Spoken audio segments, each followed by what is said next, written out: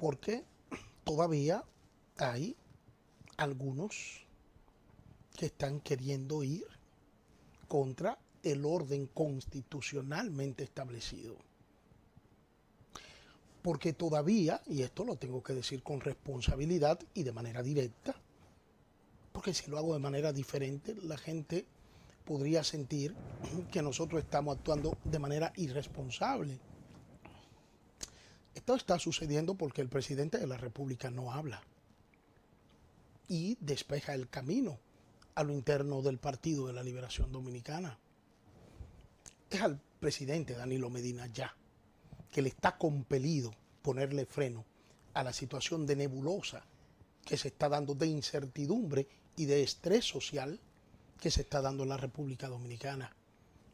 Y, y entiendo que mi amigo, el presidente Danilo Medina, mi compañero de tantos años, entiendo que debe asumir su rol, su rol como principal dirigente de la nación. Él es el presidente de la República. A él le está llamado colocarse por encima de todas las particularidades y actuar como un hombre comprometido con la paz social y la estabilidad del país que le dirige, del país que él dirige.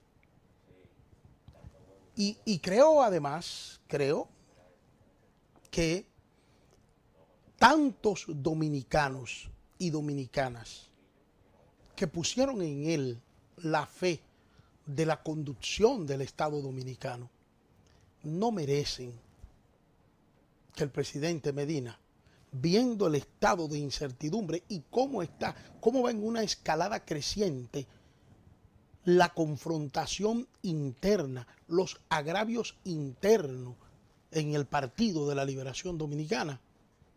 Creo que tanta gente que pusimos nuestra fe en él para conducir el país por un segundo cuatrienio 2016-2020, no merecemos que él se mantenga indiferente a la situación.